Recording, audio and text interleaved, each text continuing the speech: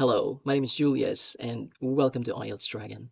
It's been a while since the last time I posted a tutorial video, so today I will answer one of the recent IELTS speaking cue cards, and of course the part 3 practice questions. Let's begin. Describe a speech experience you had. Let me talk about my experience in high school when I delivered a motivational speech in front of my classmates and my English teacher. The title of my speech was Nobody is thinking about you, you do you. Well, our English teacher asked each of us to deliver a three minute speech on whatever topics we could think of. Her objectives were to give us an experience of delivering speeches in front of an audience uh, using the English language, and of course to help us uh, develop our English communication skills more. So I started my speech by saying, Nobody is thinking about you. I said that three times, directed to the three classmates of mine who were sitting in front of the class. They were surprised when I did that.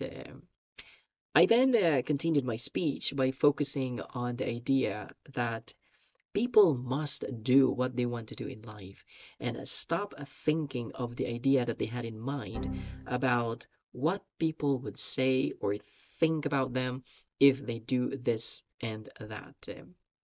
And I said that nobody is thinking about you because everyone is busy thinking about themselves. When I delivered that line, there was a deafening silence in the classroom. I bet uh, they made a realization about the words that came out of my mouth. Um, anyway, I just ended my speech by saying, You do you, three times in a more persuasive way, directed to the three classmates of mine with whom I said that nobody was thinking about them. Well, this story appears in my latest reviewers. If you're interested to see my reviewers, I'll send you samples. Just send me an email. I will surely send the samples. Well, actually, my reviewers are on sale at the moment. These reviewers helped many students pass the test, and I'm very proud that a lot of my students or a lot of students passed the test by using my reviewers. So if you're very busy, don't have time to prepare, get my reviewers because everything is prepared for you. Let's move on to part three. What benefits does the internet bring to communication? Well, benefits include being able to communicate live with our loved ones and other people who are living away from us via messaging or video calling applications. The internet helps us connect with other people very easily, no matter where they are. I also think that the internet uh, helps us access different kinds of information that are important in day-to-day life, such as asking for a direction, uh, weather updates, relevant news, and things like that. Undeniably, the internet uh, revolutionizes the way we communicate and the way we access information. And these things are what we all should be grateful for. What personal qualities does a good communicator need to have? I think a good communicator knows how to listen to other people. They aren't full of themselves uh, because their level of empathy is high. Aside from that, they love learning. They educate themselves a lot because they want to share wisdom with other people. And obviously, they can articulate themselves very well. That is without question. Which is better, being a good communicator or a good listener?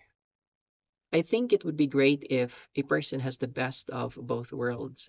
I mean, it's amazing if uh, a person can articulate his feelings or opinions uh, uh, very well. And at the same time, he's very good at listening. When a person is uh, a very good communicator, he can easily influence other people. And if he is good at uh, listening to other people, he can, you know, gain their trust very easily and cultivate uh, healthy relationships. So I cannot uh, pick which one is better because I believe it would be great if these two important characteristics are mastered together. Does technological development have a negative impact on communication among people? I believe so. In fact, uh, it's ironic because we're in the social media era, yet we become so distant from one another. I mean, a lot of people cannot build genuine relationships with other people.